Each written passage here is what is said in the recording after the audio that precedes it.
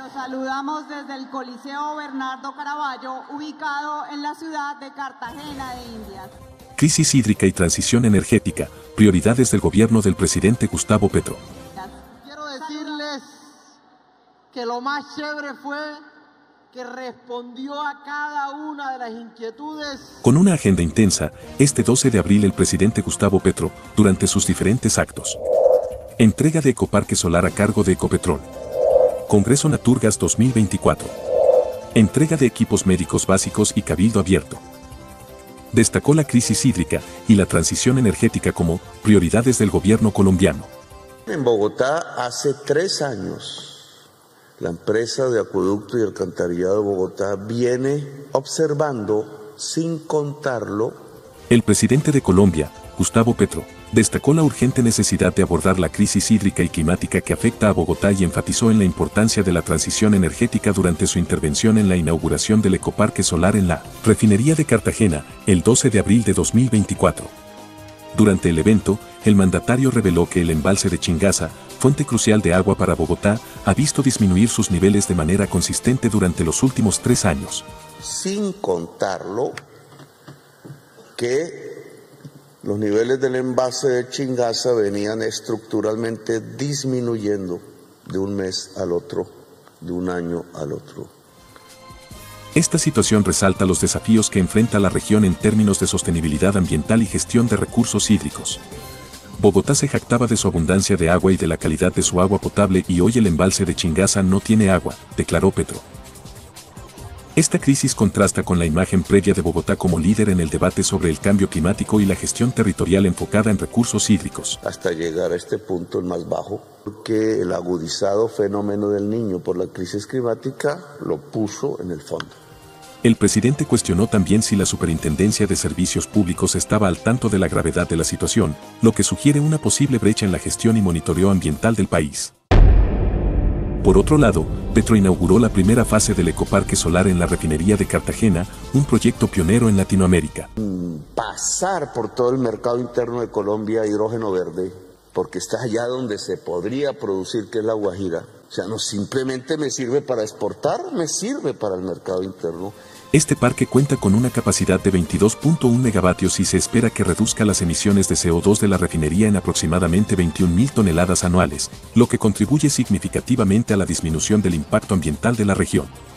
La construcción de la planta solar, que involucró a 370 trabajadores de la región Caribe, incluyendo a 185 mujeres, no solo representa un avance en términos de infraestructura energética, sino también en inclusión y capacitación laboral. Y toda la transformación tecnológica alrededor del gas la podemos desarrollar, quizás más de lo que hoy existe. Estos esfuerzos reflejan un modelo de desarrollo que busca equilibrar el progreso económico con la justicia social y la sostenibilidad ambiental. El presidente Gustavo Petro aprovechó la ocasión para hacer un llamado a Ecopetrol, instando a la recién nombrada Junta Directiva a acelerar la transición hacia energías limpias, incluyendo el potencial hidroeléctrico en regiones como La Guajira. ¿Qué le pasa a Ecopetrol que está anclada en la economía fósil y no da pasos rápidos hacia la economía limpia? cuestionó el mandatario. Porque indudablemente hay que reemplazar todo lo del carbón y todo lo del petróleo. Entonces les propondría una mesa para hablar, echar los números, mirar cómo transformar las termos en energías limpias. Esta crítica se enmarca en un contexto más amplio donde Colombia busca posicionar a la energía verde como eje central de su política energética. La iniciativa de Ecopetrol de generar hidrógeno verde, además de las inversiones en energía fotovoltaica, son parte de los esfuerzos del gobierno para cumplir con sus compromisos internacionales en materia de cambio climático. ¿Cómo transformar en el tiempo la industria del gas natural en la industria del hidrógeno verde? Que matemáticamente es unas moléculas de CO2 que van a la atmósfera a cero moléculas de CO2 que van a la atmósfera. El presidente concluyó su intervención destacando la importancia de una gestión más eficiente y consciente del agua y los recursos naturales, especialmente en zonas urbanas densamente pobladas como Bogotá, que están en riesgo inminente de enfrentar una severa escasez de agua.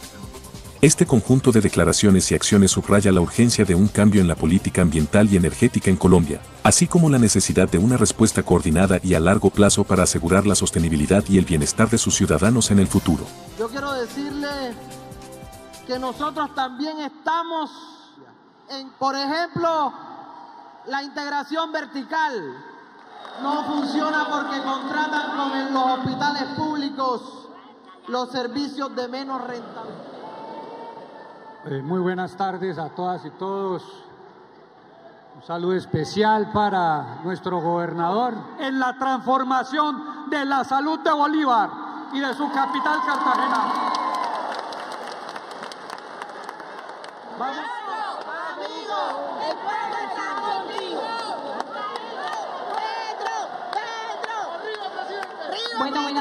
Tardes a todos y a todas. Primeramente le doy la gloria y las gracias a mi Padre Celestial por permitirme estar con tan gratas personas. Y seguiremos estando apoyando este cambio que se quiere al sistema de salud.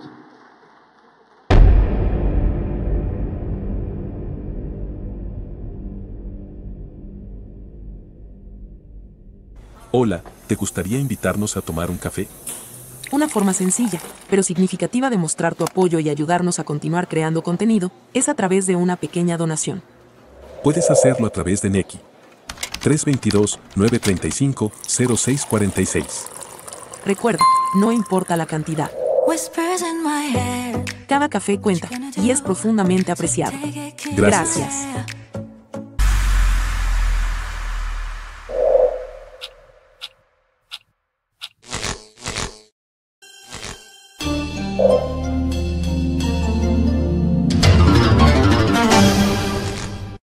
Si te gustó escuchar este artículo, suscríbete a nuestro canal, 90 Segundos Noticias. Recuerda, activar la campanita, darle compartir y dejarnos tu comentario. Gracias.